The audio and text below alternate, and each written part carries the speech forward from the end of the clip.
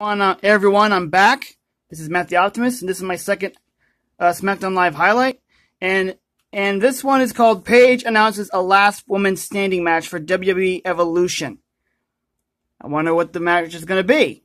Let's see what she has to say. Earlier tonight, SmackDown Women's Championship match, things got ugly, resulting in Becky and Charlotte requiring medical attention.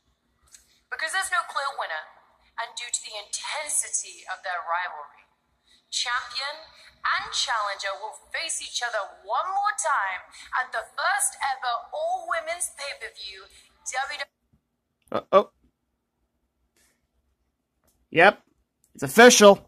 Charlotte and Becky are going to have their first last woman standing match. Oh, wait. The first one was at NXT when Asuka was defending her title against Nikki Cross. And, and, and Asuka was the longest reigning NXT women's champion, not let alone the NXT, let alone the, let alone the longest reigning undef- has run, ugh. had her long, undefeated streak because of this. WWE Evolution. And that's where another first will occur. Because Charlotte Flair will challenge Becky Lynch for this. Ugh.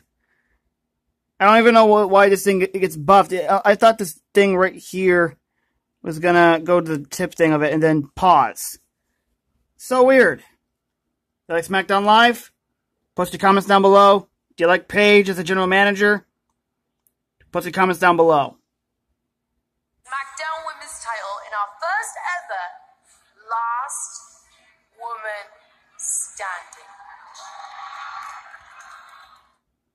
You know, the first one was at NXT when Asuka was defending her women's title against Nikki Cross years ago. And you know, you know, I actually like, like I like it. I dig it. All right, I'll be right back. I'm, I'm going to be head, heading to the next uh, highlight. If you like this video, like, comment, and subscribe. Peace the Frell out.